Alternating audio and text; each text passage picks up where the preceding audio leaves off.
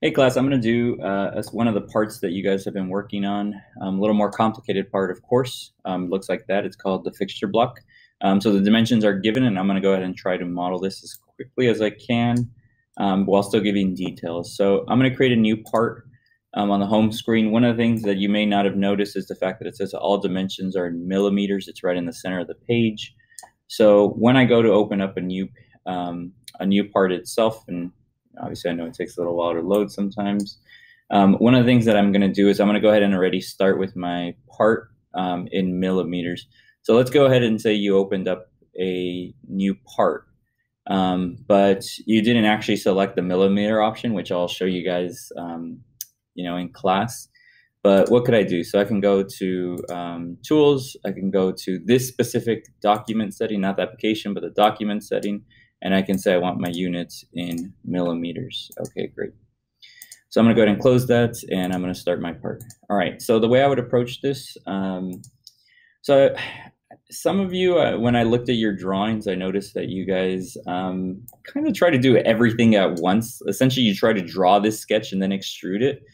Um, you can't do that because there's different contours, different levels. I mean, is it possible? Sure. I, I mean, I could probably do it. There's, you know, a million ways to do it. But you don't really want to start with the whole sketch. You want to look at a part and you want to imagine what would this have started like? Um, I could do most of this sketch even, but you got to start imagining what would this look like if it was one big block and what would I have to cut out?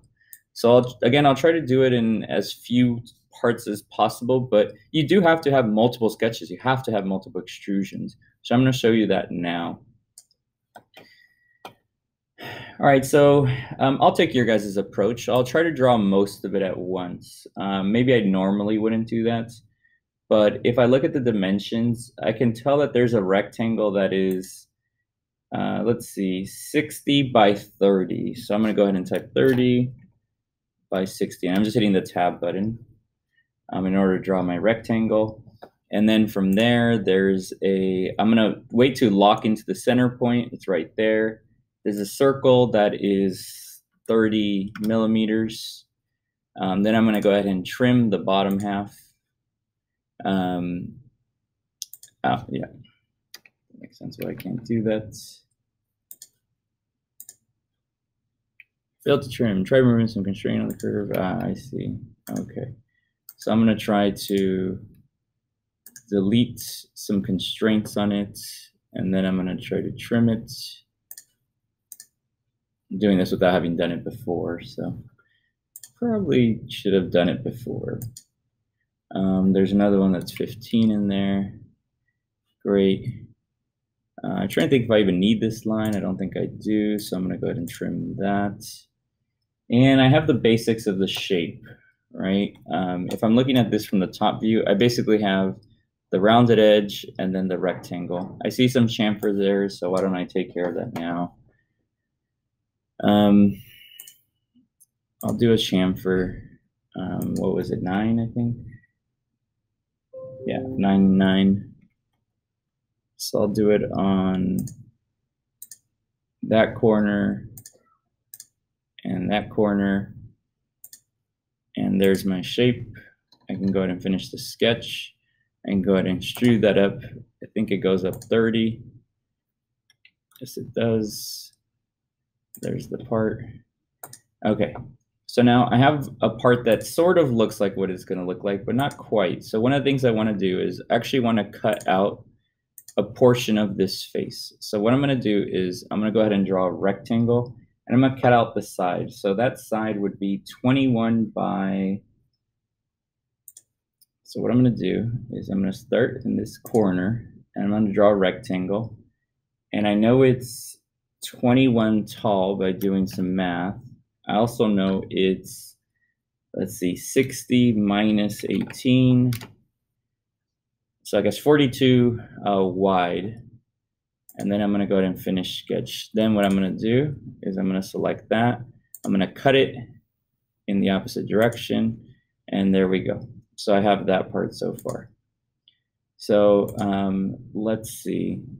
I'm going to go ahead and rotate that so it's a view that I like.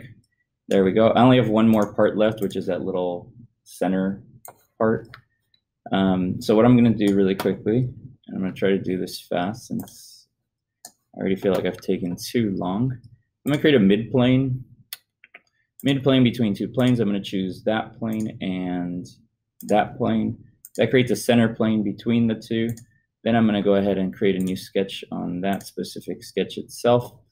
I'm going to draw a triangle that goes from this corner to that corner to that corner and back to that.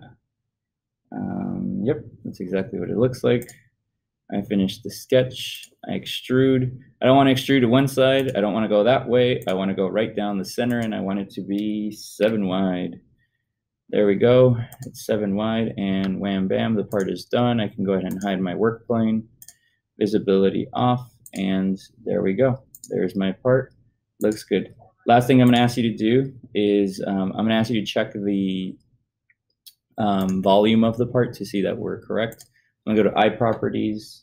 Um, this box will pop up. I go to physical, I update it, and then my volume is 35 199.482 i would want you to double check that value and make sure you're correct. If you didn't originally start as millimeters then it would say 35 199.482 inches to the cubed. But because the part said millimeters you do not want to go ahead and make something in inches when the when the company wants you to make it in millimeters so be mindful of units. All right so double check your units make sure that's right make sure it matches up with me and then we're good. All right awesome. Thanks everybody